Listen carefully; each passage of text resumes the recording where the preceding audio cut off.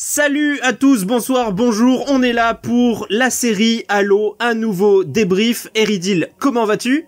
Eh ben ça très bien et toi?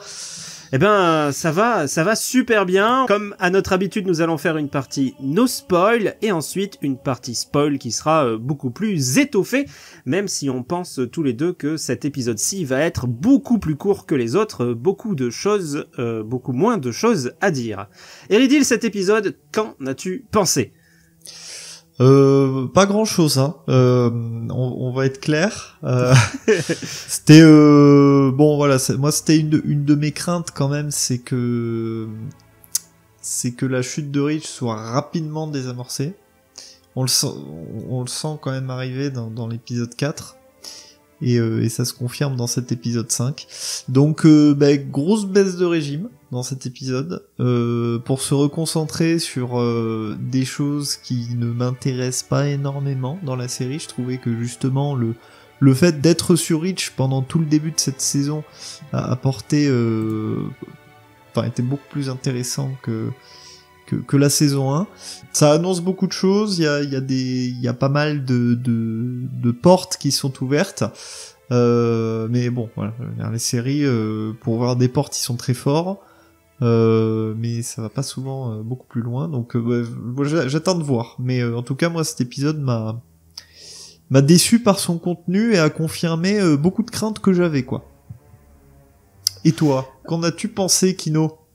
Alors je suis tout à fait d'accord avec toi. C'est vrai que c'est un peu euh, un peu triste d'abandonner rapidement euh, la chute de Rich, qui est normalement censé être un gros morceau euh, de l'univers de, de, Halo. On en parle encore et encore. Mais au niveau de l'épisode en lui-même, je peux pas dire que je rejette tout.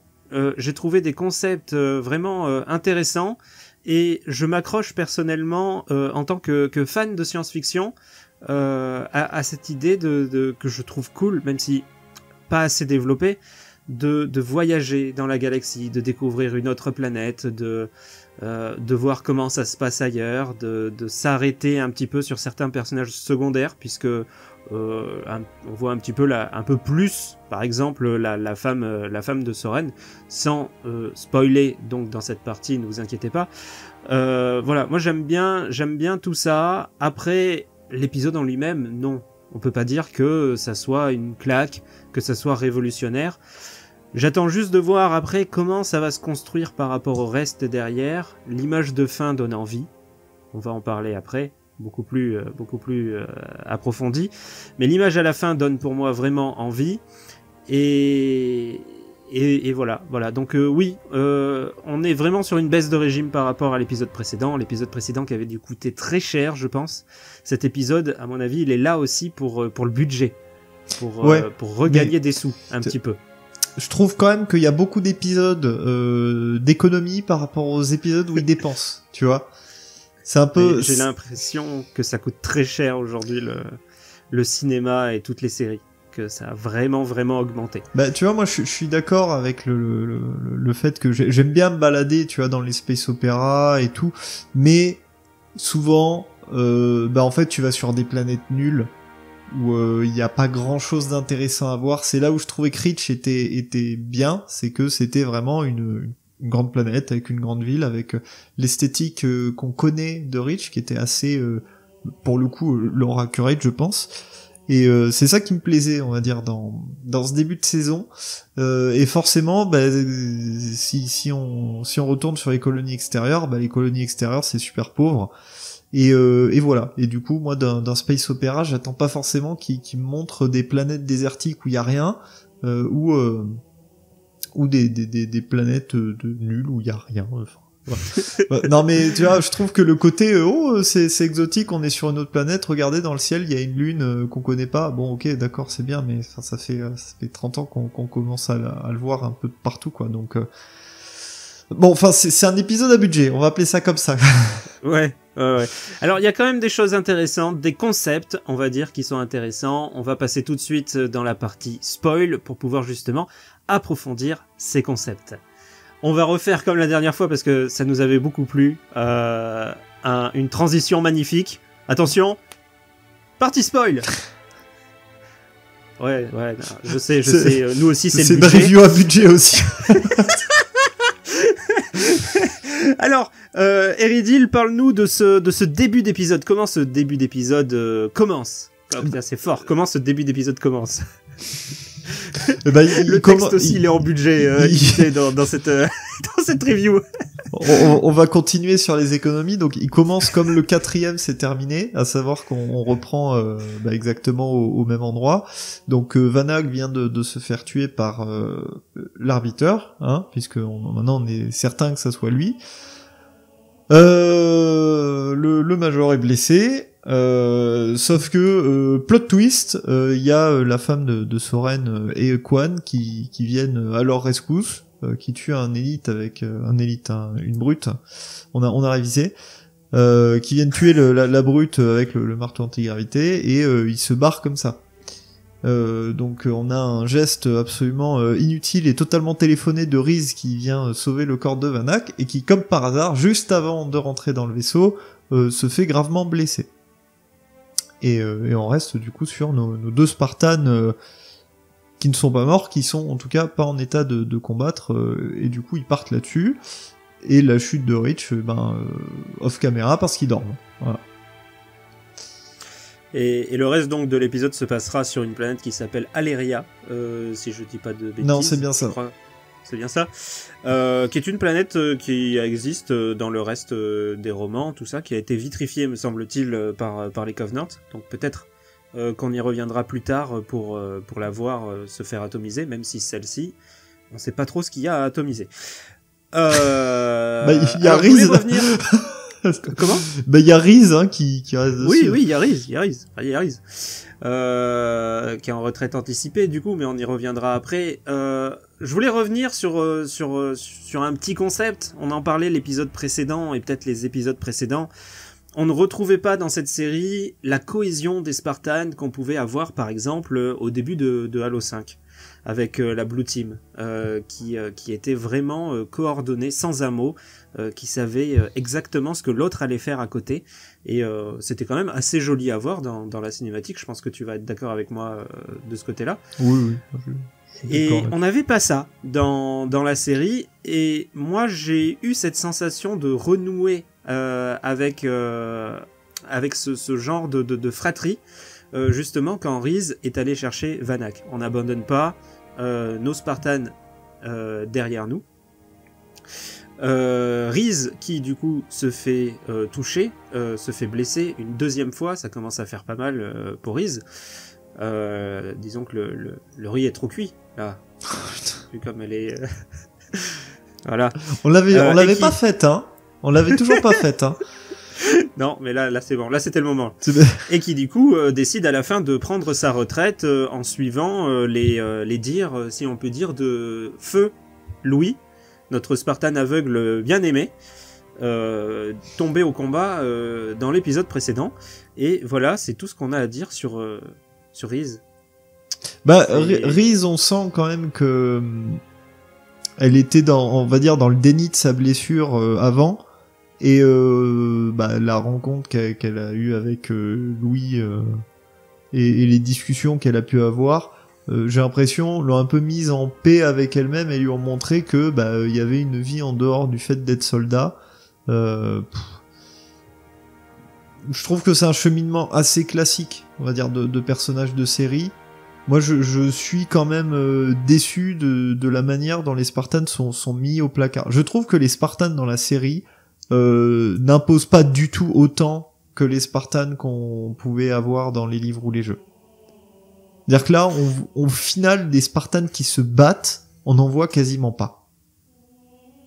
Moi, je, mhm. je suis un peu déçu là-dessus, quand même. À mon avis, encore, c'est le budget. Hein. C'est le budget qui fait ça. Euh, presque, il faudrait faire une, euh, une série animée pour que ça soit plus simple, euh, je pense, au niveau du budget et faire beaucoup plus...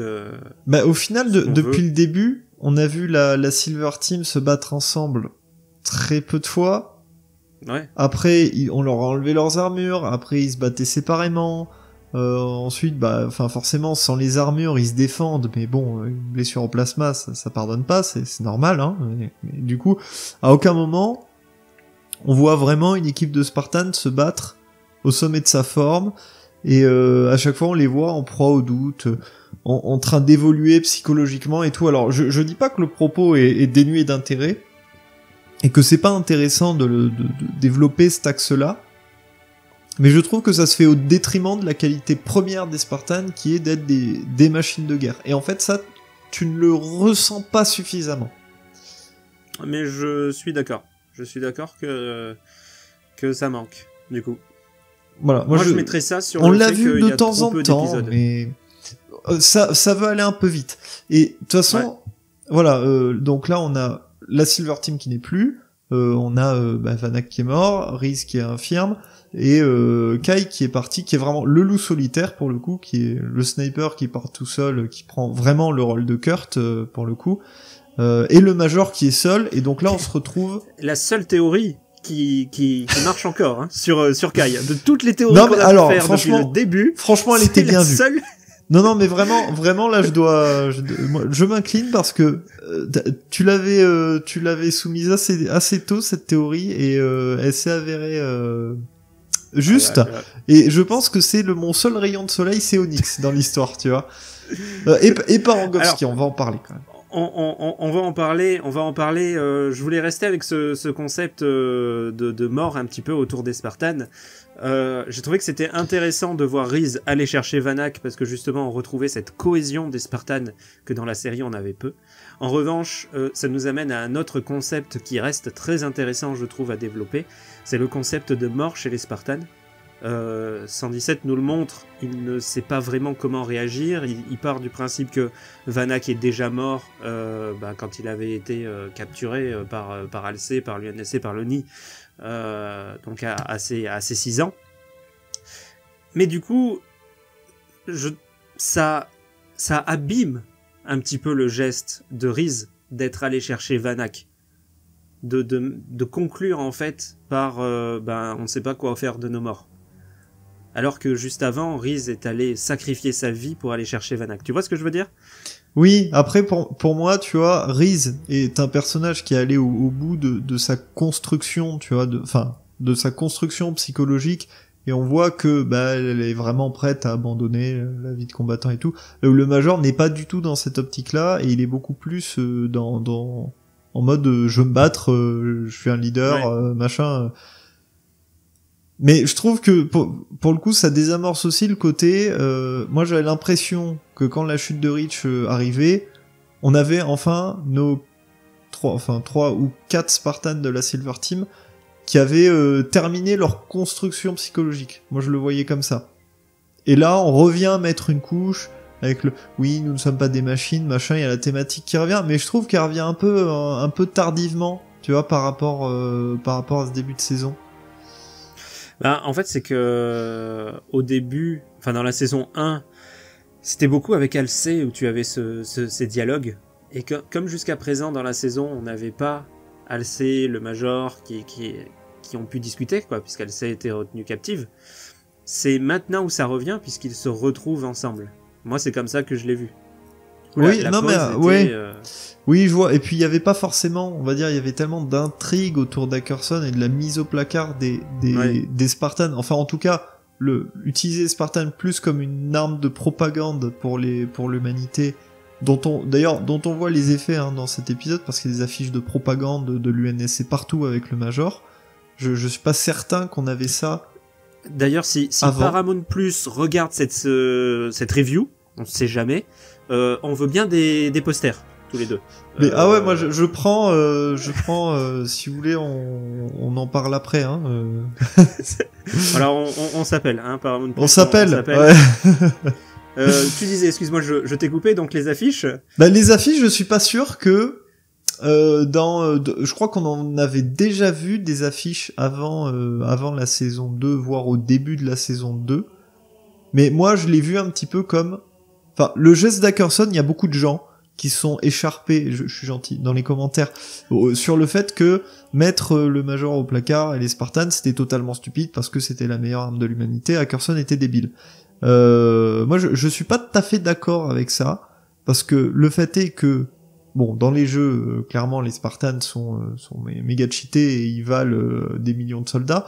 Dans la série, les Spartans, moi, je les trouve relativement inefficaces. Enfin, c'est pas eux qui peuvent changer le cours de la guerre par leur action militaire.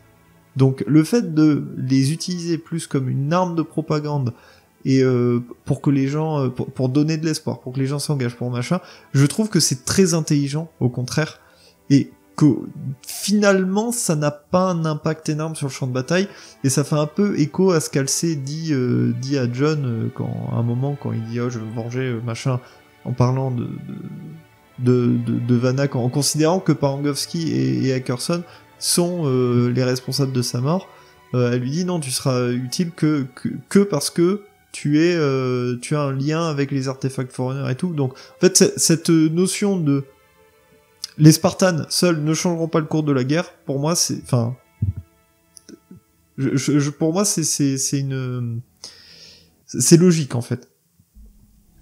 Du coup, on, vient au, point euh, suivant que, je voulais aborder, c'est le côté spécial du Major, qui va peut-être décevoir certains fans, parce que dans les livres, on nous le présente comme quelqu'un d'ultra euh, chanceux.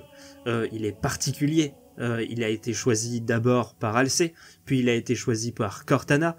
Euh, le Major, c'est vraiment un, un, pilier chez les Spartans. Et pour moi, aujourd'hui, il n'est pas encore ce pilier en fait.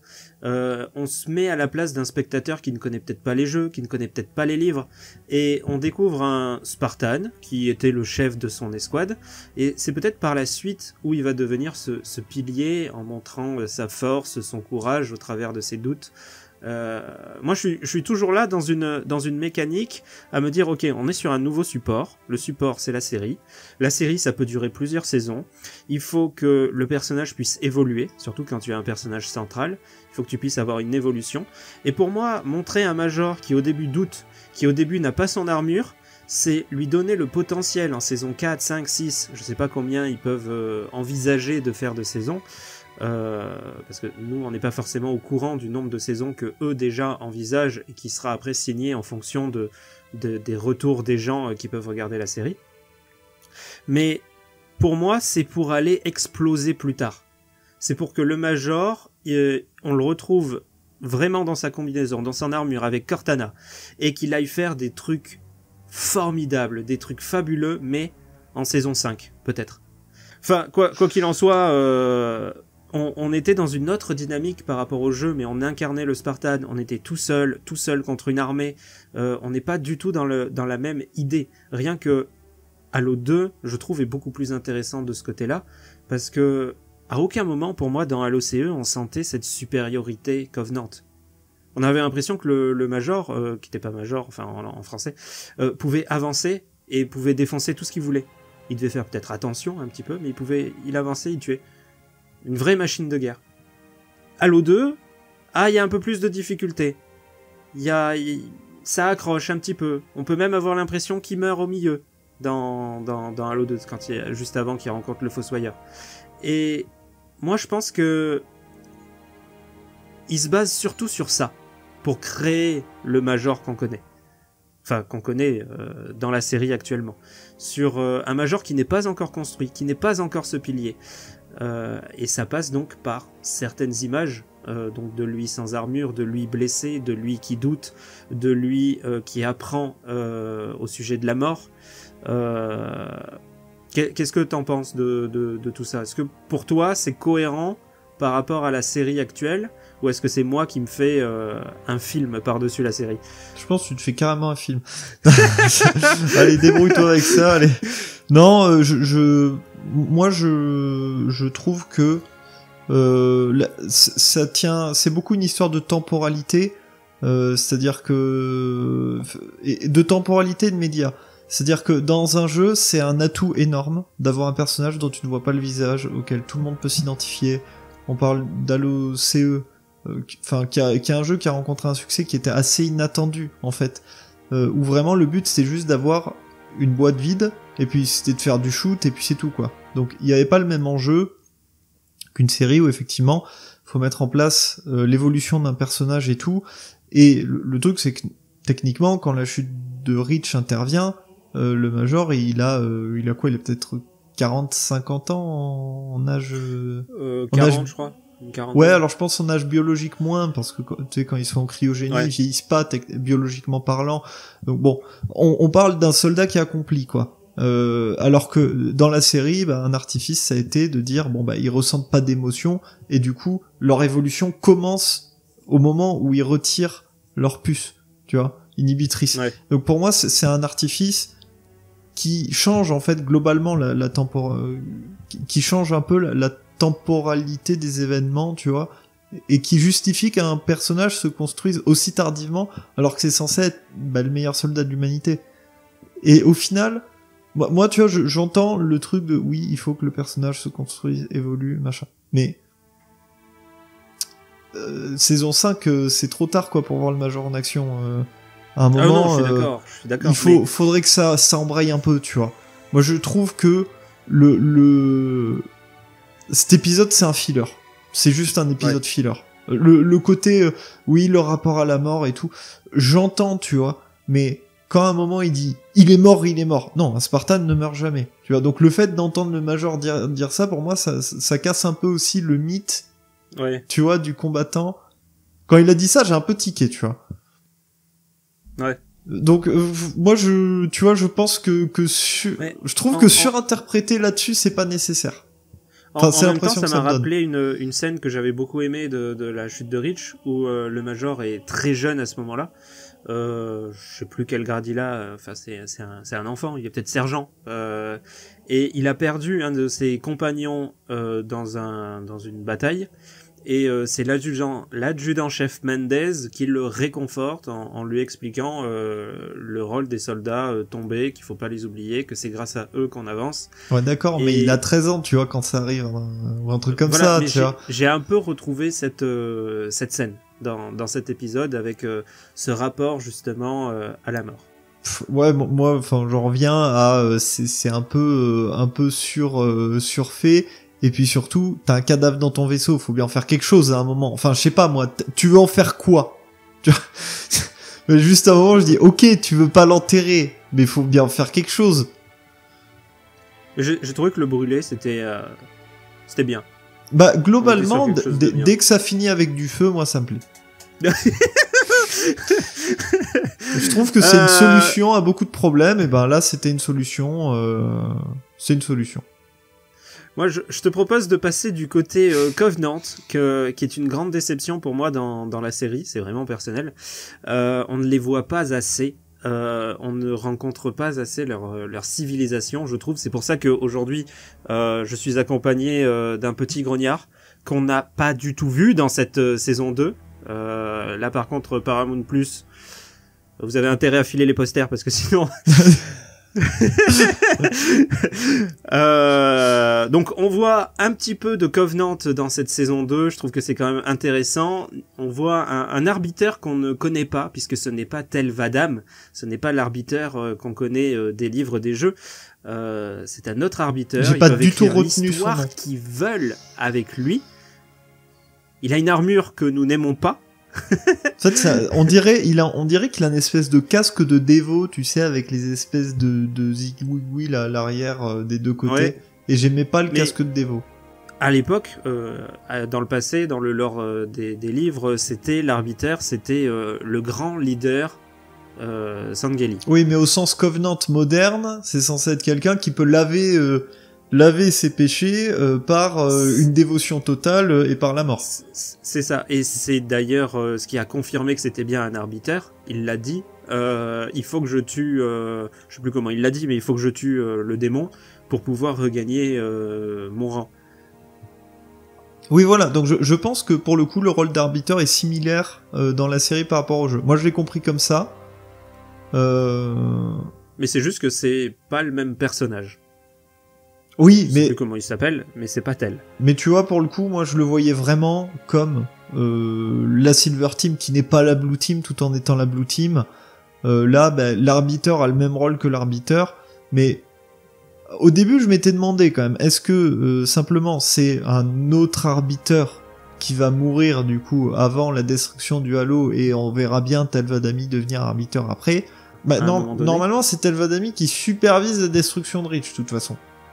Oui. Donc là, on et a un arbitre sur qui- là on a un arbitre qui intervient euh, pendant la chute de Rich, mais à aucun moment on ne voit tel tel Vadami. Euh... Après la chute de Rich, on voit tellement rien que. C'est vrai. Euh, et donc on a peut-être un peu plus de, de réponses, on y voit peut-être un peu plus clair au niveau de, de Cortana, parce que dans l'épisode précédent, Maki volait Cortana, et, euh, et, et, on ne savait pas pourquoi. On ne savait pas pourquoi Cortana était resté, Ackerson euh, l'avait euh, l'avait laissé. Euh, on ne savait pas pourquoi Maki voulait Cortana. Là maintenant, on a un puzzle qui se forme un petit peu. Euh, Maki voudrait se servir de Cortana pour essayer de retrouver les traces du Halo par les souvenirs de John. Enfin moi c'est comme ça que je l'ai perçu. Oui, alors voilà, Ackerson qui a pris méga cher dans les commentaires. Euh, déjà il a volé les armures, c'était pas cool. Euh, et en plus il a laissé Cortana, il est débile. Et euh, c'était une discussion qu'on avait un peu un peu entamé une fois dans une review concernant le fait que Parangovski est un rôle qui est très très gris.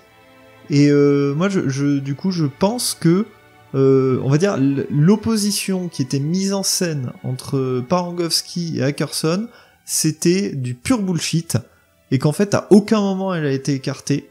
Le but c'était juste de, de, mettre en place des pions. On a aussi un flashback du coup du moment où le major était sur le billard et qu'ils lui ont retiré Cortana de la tête. Et visiblement, elle a l'air de plus ou moins faire du chantage à Cortana euh, contre contre le fait de, de garder le major en vie. Moi, c'est comme ça que j'ai compris cette scène. Et je soupçonne fortement que euh, Cortana a été délibérément laissée sur Reach pour pouvoir infiltrer les Covenants. Euh, alors, est-ce que elle aurait euh, une espèce de virus ou où elle doit infiltrer les, leur système pour communiquer des informations, quelque chose? Moi, je, je la vois un peu, tu vois, comme une arme, euh, un cheval de Troie, un petit peu. Mais ça serait, ça serait assez euh, intelligent, je pense, de l'utiliser comme ça. Et oui, et du coup, le fait est que c'était Ackerson qui était euh, aux commandes, en tout cas c'est comme ça que j'ai compris, qui était aux commandes sur, sur Reach au niveau de l'état-major. Il avait Cortana sous la main. Euh, donc le fait qu'il l'ait laissé montre qu'il y a euh, une collusion entre lui et Parangovski. Alors je pense que c'est quand même plus compliqué que ça. Parce qu'avec Loni, t'as toujours un jeu, euh, un double jeu permanent, si ce n'est plus que du double jeu. Donc euh, la, la relation est peut-être pas aussi simple entre Parangovski et Ackerson. Quoi qu'il en soit, je pense qu'ils sont de mèche depuis le début. Et euh, ça me, ce qui me fait écho aussi, c'est le fait que le Major veuille se venger, enfin venger Vanak de Ackerson et Parangovski. Donc lui-même les met dans le même panier, tu vois. Alors un autre point euh, qui est tout à fait intéressant dans cet épisode, c'est euh, Soren et sa famille. Non, c'est pas intéressant ça. Ça c'est nul ça. C'est nul. c'est pas non, mon Soren. Alors... Alors, alors oui, on est, on est tous les deux euh, un petit peu déçus de, de Soren. Ah, Soren c'est pas bien Soren. Soren qu'on qu aime, qui a, euh, qui a toujours un petit mot pour dire qu'il a euh, face à sa femme, euh, bah, comme un, un, homme moderne, euh, ferme sa gueule, il baisse les yeux. et, et, il va faire la vaisselle. Euh, c'est un petit peu l'impression, surtout quand c'est sa femme. Alors, euh, euh, badass, hein, badass. La, la, maman qui veut récupérer son fils, qui va se chercher euh, la, la batte, la batte de baseball. Pas avec, les darons, mon gars. non, non franchement, franchement cool, cool, cool dans l'idée. et à la fin, c'est pour pour dire que le fils a été pris par l'UNSC. Alors c'est risqué de faire des théories parce qu'à chaque fois qu'on fait des théories, ça va dans le mur. Mais j'ai envie de penser que euh, l'UNSC a envie de s'en servir pour en faire un Spartan. Euh, ça peut être aussi euh, une, euh, une connerie et ça peut juste être pour récupérer Soren ou pour faire chanter Soren, mais euh, je vois pas pourquoi Soren aurait autant d'importance aux yeux de, de l'UNSC. Je pense que le seul truc qui est intéressant, c'est qu'il n'y a aucun Spartan qui a déjà eu des gosses. Oui. C'est tout. Oui, oui, c'est possible. Mais après, le truc au niveau de la temporalité, justement, je sais pas ce qu'on peut en faire de ce gamin en disant c'est un Spartan 3, mais ça veut dire c'est un nouveau, une, nouvelle génération de Spartan 3. Il est trop jeune pour être un Spartan 4, parce que les Spartan 4 sont censés être adultes au moment où ils passent euh, Spartan. Spartan 5, mon gars. Spartan 5. non, je, moi le, le gamin, le, euh, tu vois, moi vraiment euh, la trame entre Soren, euh, sa femme euh, et son gamin, je vois pas où ça va. Et moi vraiment, bah moi Soren dans l'épisode 4 il m'a mis bien, mais sinon sa trame scénaristique depuis le début est pas méga intéressante quoi. Je, je trouve. Ben, je sais pas trop ça. Moi j'ai peur, euh, j'ai peur qu'ils le tuent euh, avant parce qu'ils ont l'air de tuer pas mal de monde là en ce moment là. C'est. ils font le ménage un peu. C'est un peu une hécatombe. J'ai peur qu'ils le tuent avant qu'il arrive à un certain niveau. Mais euh, avec lui, avec lui, il y a un autre personnage qui d'un coup te fait hausser un sourcil en disant oh et puis qui après te fait oh. Quan, euh, Quan qu'on découvre donc au début de l'épisode avec une sulfateuse et qui euh, qui oh bah tiens elle a bien grandi la petite qui marche très bien qui bah, la boucle est bouclée. Elle a été sauvée par euh, par John, elle sauve John. voilà, pour moi c'est bon, son histoire est terminée, elle peut mourir. Manque de bol. Pour, moi, elle reste avec John hein, parce que justement, on a un rappel dans cet épisode qu'elle est censée jouer un rôle de, de guide. Ça. avec l'espèce de, de de prophétesse qu'on avait euh, aperçu euh, au début de la saison sur la planète qui s'est faite vitrifier. Donc il y a un petit côté mystique avec elle quand même. On sait pas si elle est vraiment réelle. Euh... Pas trop quoi en penser. Euh, c'est un peu, c'est un peu le, la magie du scénario quoi. Ça, on sait pas quoi en penser parce que ça n'existe pas. On n'a pas de référence vraiment à, à ce côté mystique euh, autour, autour de son personnage. Euh, donc on verra, on verra ce qu'ils nous réservent, ce qu'ils veulent faire avec elle. On pensait qu'ils l'avaient un petit peu euh, balancé au placard cette idée, et bah finalement pas. Euh, elle revient au corps.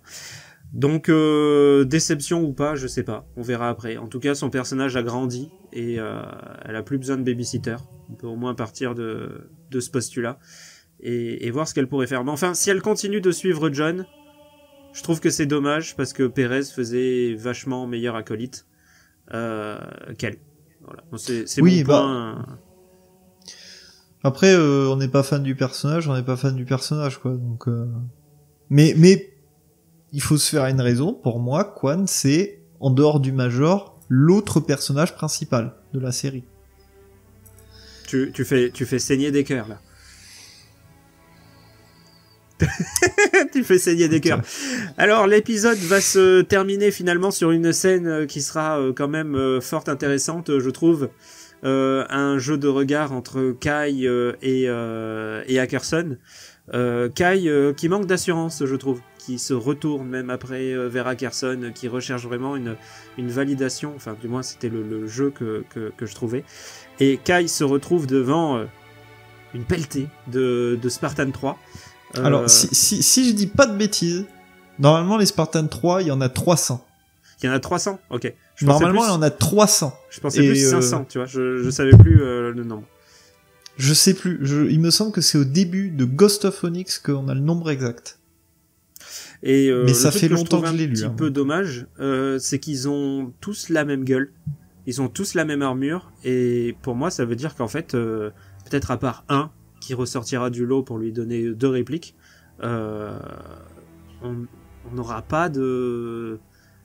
On va pas les connaître en fait, les Spartans. Le, euh, budget, mon gars. Le budget. Mais oui, le budget, le budget. euh... bah, là, on les voit de loin, ils sont en rang, si tu veux. Il y en a peut-être un dans le tas qui a une armure différente, on l'a pas vu, quoi. Là, c'est tout pour cet épisode, un épisode qui donne fin quand même euh, sur la suite. On a hâte de voir ce qui va se passer sur Onyx avec euh, tous ces Spartans.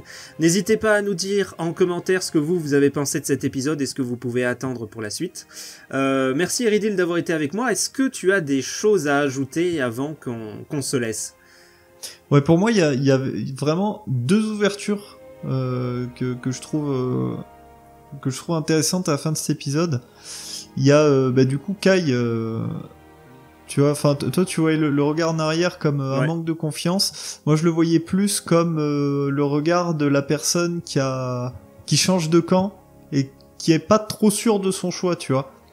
Et je me demande, étant donné que le, major se dirige vers un rôle de fugitif un peu comme il pouvait avoir dans l'O5, si on, on, se dirige pas vers une opposition entre le, le major et, et Kai, comme comme il y, a pu avoir une opposition entre le Major et, et Locke dans Halo 5, tu vois. Je me dis c'est une ouverture qui est pas impossible non plus, vu que ça reprend un peu des concepts des jeux de manière un peu anachronique.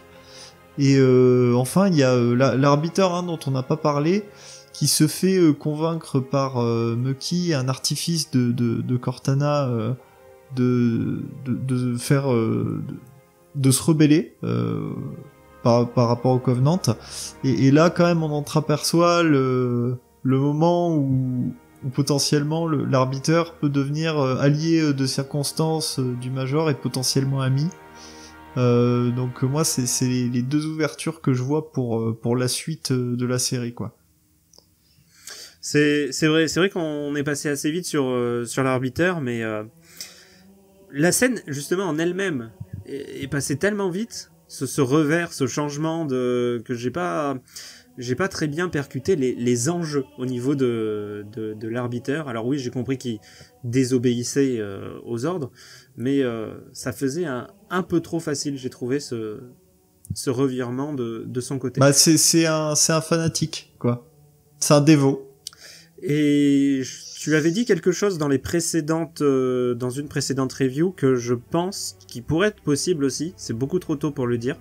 Parce que jusque là, on s'est planté partout. Alors, euh, il faut le, faut le relever, quoi. Tu, tu avais mentionné que peut-être il y aurait qu'un seul halo. Ça faciliterait le, la narration, ça faciliterait les discours.